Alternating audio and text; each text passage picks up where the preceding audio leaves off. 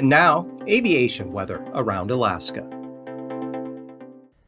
Hi there, I'm National Weather Service meteorologist Peter Chan with your Alaska Aviation Weather Outlook on this Sunday, May 2nd, and this outlook will be for uh, Monday and Tuesday early in the week. We start out though, there is a uh, front that's stalled out along the Brooks Range and around the spine of the Brooks Range up through the north slope. There is a shot of colder air that's dropping south southwestward down along uh, the Bering Strait that's bringing winter weather conditions. We have the potential for accumulating snow. Anaktuvuk Atigun passes westward up into areas of the uh, western north slope and uh, the higher terrain on the west side of the Alaska Range. Brisk north northwest winds will be spreading southward throughout the eastern Bering and along areas of the west coast down through uh, much of the Aleutian chain.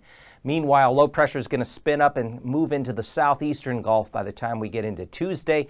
That's with that, and a frontal system will bring uh, some stronger winds into the southern southwestern areas of the Panhandle, and then a uh, large area of rain and rain showers will work its way west and northward as we head through midweek. Eventually, pretty good soaking rains moving uh, through areas of uh, the southern mainland on Wednesday into Wednesday night, and then uh, spreading up into the central interior by Thursday. So this will be a rather wet, soggy system for this time of year. Now, Monday afternoon, there could be some scattered showers and thunderstorms to develop with the daytime heating. Uh, yesterday, Saturday, Tanana had the state's high temperature at 76, so that's driving some of that instability because of the warm ridging that is nudging in from northwest Canada into the east central interior. But again, Monday afternoon, IFR conditions along and north of the spine of the Brooks Range North Slope Arctic coast. And for Tuesday morning, here's kind of some of indication uh, of, of, of that low moving up in the Gulf, IFR conditions, central western Gulf. I should mention too, uh, the rains in Kodiak uh, will begin to taper off as we get into Monday evening, but still coming up this Sunday into uh, Monday morning, afternoon. Some areas could pick up another couple inches of rain on Kodiak Island. Uh, back uh, up across the north slope, still those IFR conditions, that colder air causing lower ceilings, visibilities, fog, even snow.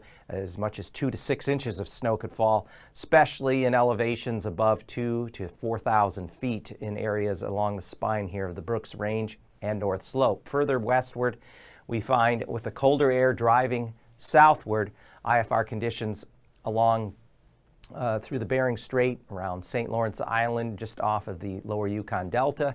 And for Tuesday afternoon, then, we still have this frontal boundary kind of stalled right along the Brooks Range, but then colder air driving southward, brisk north winds from the Bering Strait all the way down uh, into the uh, Aleutians and eastern, uh, the tip there, the Alaska Peninsula. Winds will turn a little more northwesterly by the time they get that far south. We have uh, precipitation moving up into the panhandle and uh, as we get into Wednesday beyond the time frame of this we expect an easterly wave to join up with the moisture coming up from the Gulf low, and all of that's going to spread across the southern mainland, along and south, especially of the Alaska Range, but eventually it'll cross over the Alaska Range as well and move up into the central interior by Thursday. So, past conditions not good up there along the Brooks Range. IFR, low ceilings, visibilities, areas of snow and/or mixed precipitation possible, especially along the spine of the Brooks Range northward into the North Slope. Atigun Pass, IFR, of course, and then further south and uh, west.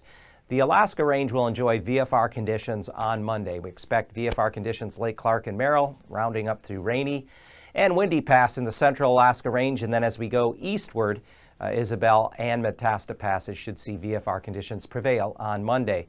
Down across the Copper River Basin, VFR conditions, Tahneta Pass. And as we get into Portage Pass, uh, generally VFR conditions throughout the pass to start the day, but by the time we get into afternoon, we could see some MVFR conditions, especially there along the east entrance and extending out into Prince William Sound. And then the far north end of the panhandle at Chilkoot and White will hold on to VFR conditions on Monday, but conditions will likely deteriorate as we get uh, further into Tuesday uh, and Wednesday with that moisture coming back up uh, from the south. So looking at the freezing levels uh, at the surface, notice by Monday morning, temperatures below freezing south of St. Matthew uh, and uh, Nunivak Island down along areas of the west northwest coast, including uh, the uh, lower Yukon Delta, Seward Peninsula, and the western portion of the Brooks Range. Uh, we expect higher freezing levels aloft, a bit of ridging here still in through the middle upper Yukon Valley, extending back into northwest Canada, where we find even uh, freezing levels aloft above 8,000 feet there, uh, further in uh, at the Mackenzie River. And then uh, freezing levels do fall off uh, below uh, 2,000 feet all the way down to the central Aleutians. As I said, this push of colder air is going to penetrate all the way down into the Aleutians and uh, the lower portion of the Alaska Peninsula. Greatest threat of icing, a few different areas. We have the remnant low that's provided uh, Kodiak Island with the rain and what's ever left there above 6,000 feet in some of the cloud cover. We have the area of snow over the western part of the North Slope and uh, spine of the Brooks Range, uh, especially in the get the thicker precipitation producing clouds above two, 3,000 feet. And then there's some moisture. There's a low coming up here out of the uh, North Pacific, heading up into the Gulf, uh, just clipping areas south of the Alaska Peninsula above 6,000 feet. So here's the jet stream pattern. At 30,000 feet, we have northerly flow coming down through the Bering Strait, while further east, with the ridging, there's kind of a southeast-south flow up through the southeast central mainland, and then a strong uh, jet core to 165 knots in the North Pacific, uh, well south of the Gulf and uh, southwest there of Haida Gwaii. And as we look at 9,000 feet or 700 millibars, here's a low circulation there on Monday. Uh, and within just south of the Gulf, tr trying to start to spread some stronger winds up toward uh, the southern panhandle.